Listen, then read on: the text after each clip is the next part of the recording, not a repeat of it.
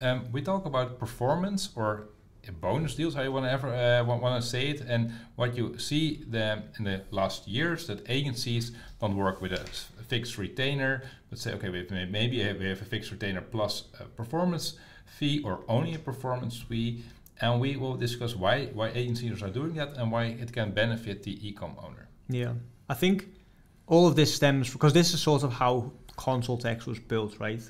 Like, there's a lot of programs out there without going into too much detail um, that will promote. Okay, you can charge one to two k a month for a or to a client, um, regardless of what kind of results you get them.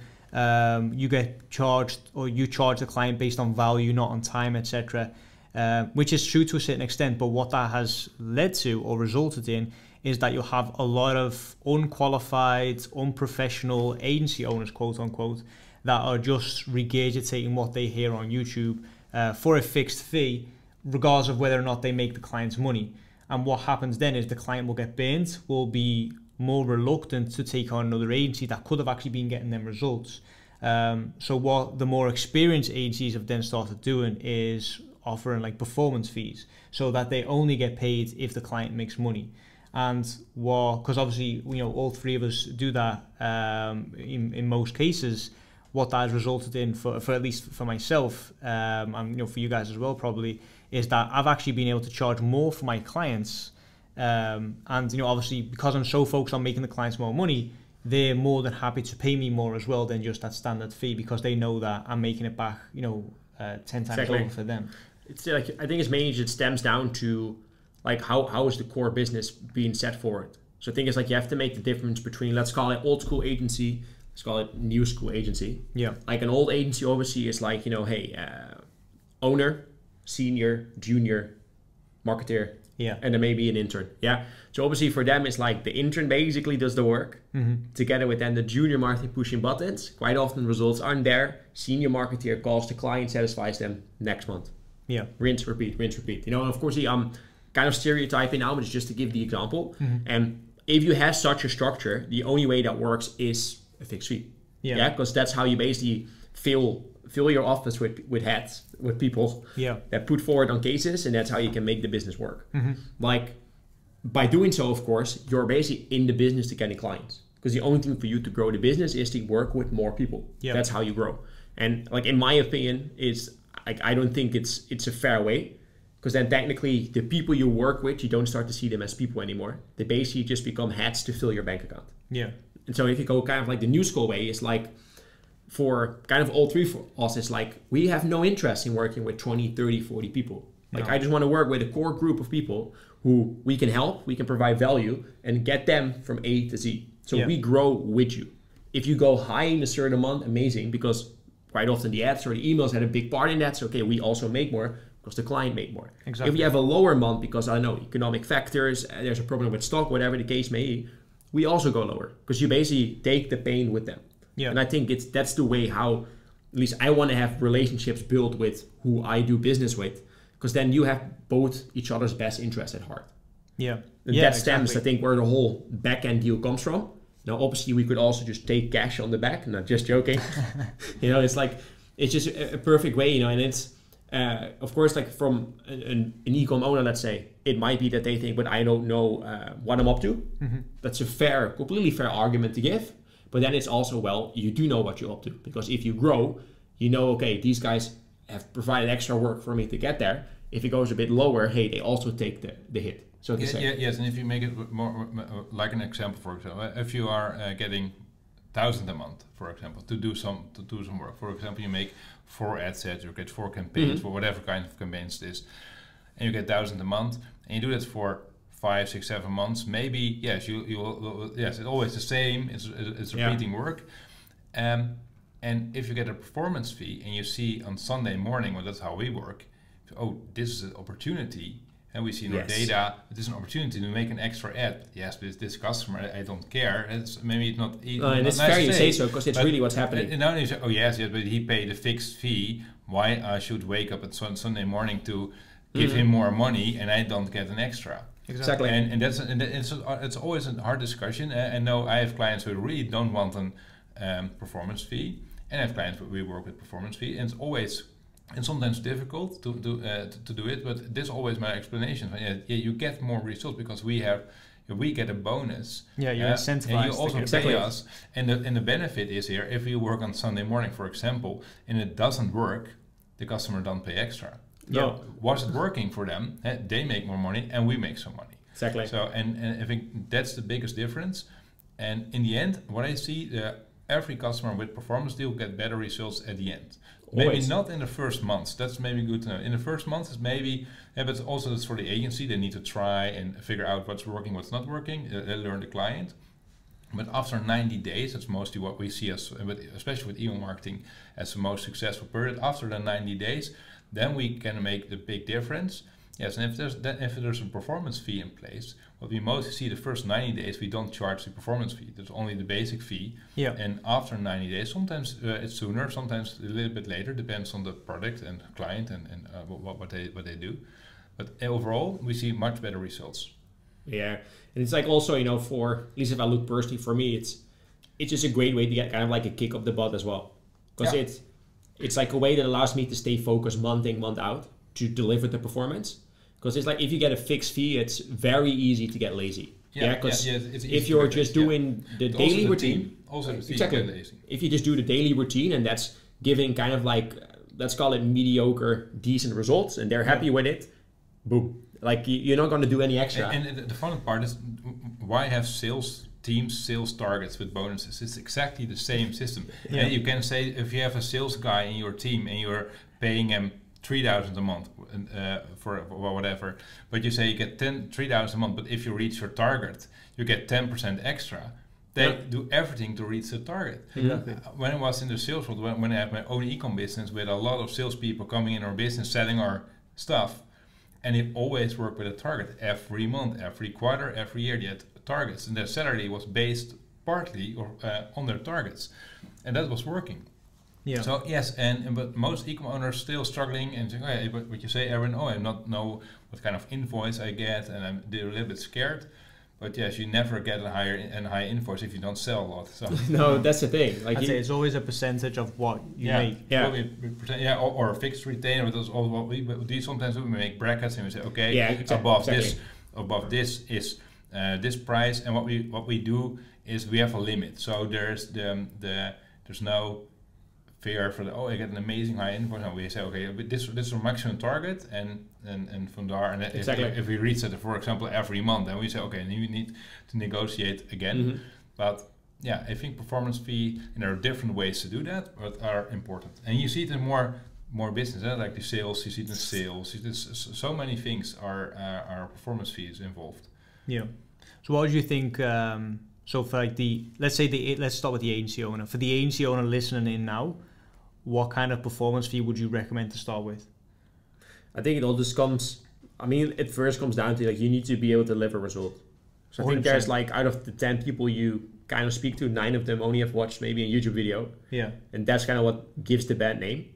Yeah. And if you are certain that you can deliver the results, like then the offer really can be technically unlimited. Yeah. You know, because it's like really how far can you go? Of course, you need to want to make it realistic, where you really set something where, hey, we need to push, but it's something that actually is achievable. I think there you should just find like, hey, do you want to go the bracket route or do you want to go the percentage route? Like, I'm not re- personally not a big favor of doing percentages of revenue because like it's so hard to. It's really, ambiguous. You yeah, know, it's, it's like hard okay, to pin down the actual numbers because you're always then gonna have the back and forth. It's like okay, yeah, but this is the cost we had here. Yeah, is it involved with the ads? You know, it's like and it just yeah it evokes just an, an annoying conversation to have. Yeah. Like that's why I just always like to look at maybe like either ad spend because yeah. it's like a number. You're not going to spend more if it's not working. Very easy. You know you break even ROAS. If you're above that, you spend. If not, you're not spending. So it's like very easy from from that perspective. And then there you can just put it between brackets. Yeah. Because then you yeah, can set I goals. I think that's in my opinion the best way to go for it. Yeah, I agree. Because that for me, I think that's my sort of favorite deal as well. Is a percentage of spend with a ROAS guarantee. So let's say, for example, a client has a 50% profit margin, which means the break-even ROAS is technically two. Obviously, it's not the net break-even ROAS, but that's a story for another day. Um, we'll then guarantee like a 2.5 ROAS or a 3 ROAS, and then if we hit that, we get a percentage of spend. And it's such an easy close as well because the client will always come out on top. And yes, you need to put your money where your mouth is. You need to be able to get those results.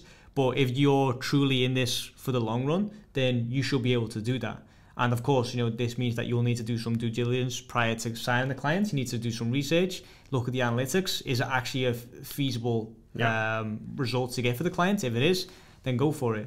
Simple example is one of our um, one of our smaller clients was on a fixed fee because we had it for such a long time. And then we renegotiated the deal to have a percentage of spend with a ROAS guarantee, and the ROAS guarantee was three because um, her break-even ROAS was like 1.8, something like that. So we agreed on a ROAS of three. So she and then her response at first was, okay, so if I so we got 10% to spend. If I so, she said, okay, so if I spend 50k, you guys are going to invoice me 5k.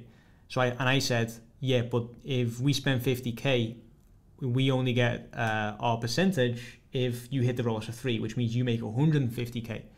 And she was like, okay, well, I'll happily give you 5k if I make 150k. Mm-hmm. Um, and then you know you just turned a 1k a month client into a 5k a month client, um, but she's happy as well because she's getting a crazy deal on the back. Exactly. Yeah, Yes, and I think it's important to, to check with every specific customer yeah, what is possible. yeah. exactly. It's And- every and- person's and- and- unique. Yes, and make it clear to them. Okay, these are your profit margins, and this is the work we do. yeah, And also, this is nothing to do with the performance deal. What I want to say, but also if you have, as a client work really see it as a collaboration with your agency, yeah, that makes also easier. eh? And that mean communicate well, respond on questions, send in the right in product photos. Um, that, that that will help to speed up everything. As I see with some of our clients, how much work that's most of the time is going to communication just to getting an approval or getting some.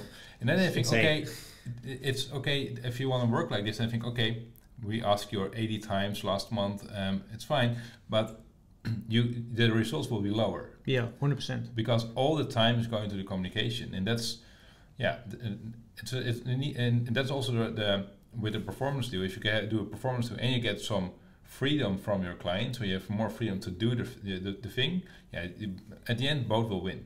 Yeah. But you need to give the trust to the agency, and of course you need to build up the trust that you cannot say to a stranger uh, is running your e-com store ads or, or marketing from day one. Mm. Okay, it's a complete carte blanche and and, and do what Yeah, want. I think it's also just comes down that you have to set the expectations. Yeah. And I still like to till this day is like I always still have the conversation with my business partner like you, you need to keep fine tuning that because like I sometimes feel like if we if I pitch you the performance deal, which we'll always do, like all the risk is with me. Yeah, You know, like if after 30 days, you know, we we are not where we want to be at, like I haven't made anything. mm-hmm. So all the risk is on us. yeah, Now, of course, I get it that you say, oh, yeah, but I'm spending the ad spend. Yeah, but we're not going to like ramp 30, 40, 50,000 in a month like through your ads if it's not at a break even ROAS. No, No, it's going to be very low until we're testing and then we break the code. And all that time, like all the time invest invested in that first month, like in really testing, doing the research, like you, legit get that for free, mm-hmm. which we're more than happy to do. You know, like Yeah. I have absolutely no problem with that. But I just sometimes feel like it's not really that they understand that. Like if you're two weeks in, they straight away, you know, go an email to, to ask, you know, for oh why it's not working. And then it's like, you know, it's like you, you need to give us time. You know, you need to mm-hmm. realize all the risk is on us. Like you haven't paid us anything. Yeah, and We've- overnight success doesn't exist. No. that's that's always Exactly. the discussion. What I always hear is, oh, we, we, we just started two weeks ago. We we don't see any big difference. if we just started. yeah. what do you expect? If It's- overnight success? exactly. Then my, my only answer today is then okay. If, if that was working, I was uh, I was not working anymore. If, if I can make change your store double Exactly. your uh, revenue in, in a weekend, then yeah, Exactly. Like if I can take your ad account, I can wave my wet magic wand. Yeah. Like no, we wouldn't be sitting here. no, Like I would be on my private island, yes, chilling, yes, and you would have never heard from me. You know, it's like it's yeah. And obviously there it always stems down to well is like how how well does their backend check out? Because it is if I just look on at least on my track record, if I look at your analytics and your backend is rock solid, like I think I've never had a case where it didn't work. no, true. You know? because it's based on the numbers, right? Yeah, Yeah. Yeah. like numbers don't lie. And that's another reason why, because it's funny, because like sort of when you get into this space, everyone's pushing for the one call close, right? Like you need to be able to close clients on the Yeah. spot. And the funny thing is, like our closing rate now, or our closing sort of length, is like two or three calls, and we do that to protect, protect ourselves. Like we could probably close clients on the spot, but we want to actually take you know go away from the call. Yeah, I need my due diligence. look- yeah, exactly. Look at the analytics, look at the store, look at the conversion rate, look at the average order value, look at the ad accounts. Is this something that we want to take on? Okay, well then we'll book in the second call.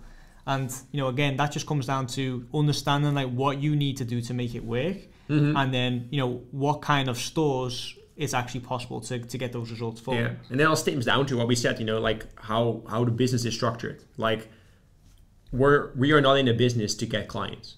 No. Like like I said, I have no interest in working with so many people. No. So that's why we really do our due diligence. Because if we see there is an opportunity, yes, we can grow with you. Yeah. But if I look at the numbers and I see, you know, hey, like there's just for me certain red flags. Like it's just not of interest of me to unfortunately take you on. No, Like I'll give you things that you could do, but just right now with us, like it just It's not worth your yeah, time. it's not. Yeah, Yeah. it's, it sounds maybe hard to say, but it is the truth. Yeah, like simple example is as well. Like if you want to, as an agency owner, if you want to continue down the fixed retainer route because you see that as safe, let's say you charge two thousand a month, and you want to get up to seven figures, so you want to make a million in a year. Yeah. That means for two thousand a month, you need forty plus client. You need to manage forty plus clients all on two k a month to maintain that. Chances are you'll never be able to do that on your own. So No. that means you need to hire freelancers, employees, etc., which obviously cuts into your margins. Uh, but it's also very hard to manage that many clients and get that many clients a certain certain kind of result that they'll stick around for 12 months. Exactly. Now, if you work on a performance deal or some kind of uh, you know bonus structure or anything like that, then you might only need 10 to 12 clients, maybe not even that. Like if you're working with really big clients, you could make uh, like we've we've talked about this in the past, right? Where like we've done the numbers, and you said like that's basically a six-figure agency from one client alone. So 10 of those clients, you'd have a seven-figure agency, and you're only managing 10 clients. Yes, and, th- and then you can also have better quality. Exactly, More because you can put all your time and effort more- into this. It's, it's impossible Exactly. to handle. like if you have indeed, if you work, let's say with twelve, let's say even fourteen clients, like you can invest basically seven days a week, twenty four seven, all your research into those seven clients. Exactly. Even better if all seven are in the same niche, because then the research you're doing applies to all Everyone. seven. Yeah. So what you test in A does also work in B. What works in B also works in C. Exactly. So basically, you have a whole bubble. You have that bubble, and you control the bubble. Yeah. So basically, every person that comes into your bubble is just gonna shoot up. Exactly. Yeah, and that's like really where, where I think, in my opinion, the magic then kind of comes into place because then you can grow with them, and then there as well, if you charge the, the percentages, um, with with 14 clients, you can easily run a seven-figure business. Yeah, 100%. Yes, yes, and, and that's again from the agency perspective. But uh, as ecom owner, if you listen, don't forget your business will also grow, and you don't get an invoice if you have no results. So Yeah. No, that's think- th- that's the, the big difference. And for some, that's super hard to understand, and they don't understand why they get a credit card charge or an invoice for six k after a month. But yeah, maybe they make uh, six hundred thousand k that month. Yeah. yeah. Exactly. I think as an ecom owner, if the agency that is now pitching you their service is not willing to do a performance deal, that in itself is a red flag. exactly. Like, why are they hiding behind the fixed fee? Is it Mhm. because they're not confident in their own service, or is it, bec- you know, what's the specific reason behind that? Like you said, it could also be that they just have an intern on it, and it's just a numbers game for them because eventually they want to exit Yeah. out of their agency.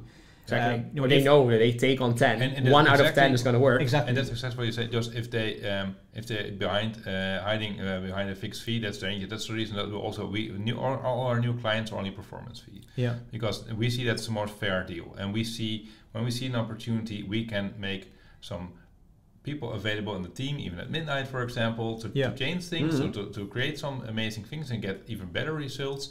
And with a fixed fee, yes, at 5 p.m. Uh, the, the, the phone is, uh, is off, for example. Yeah. exactly. And with a performance fee, yes, also my team is willing to run harder. Yeah. Yeah. I think as a if, if it's performance basis, it's more like a collaboration rather than an Yeah. agency client um, Exactly. deal. And that's why you, you you know you should never call yourself an agency no, because like basically if you say I'm an agency you're basically saying oh yeah I'm that glorified person charging 1k Yeah. 1.5k and that's I, it I think the, Yeah. the the agencies like the the name agency It's is now budget. it's been slandered. Yeah, I think like right now we call ourselves like growth partners or growth consultants. Um, and in my opinion, um, we come across as much more professional and much more hands-on by calling Mhm. ourselves that. Yeah, yeah, and that's important to, to don't um, call you a marketer or the growth consulting is a better word. Yes. Yeah, And that's also maybe a good end for this. yeah podcast. exactly yeah. Cool.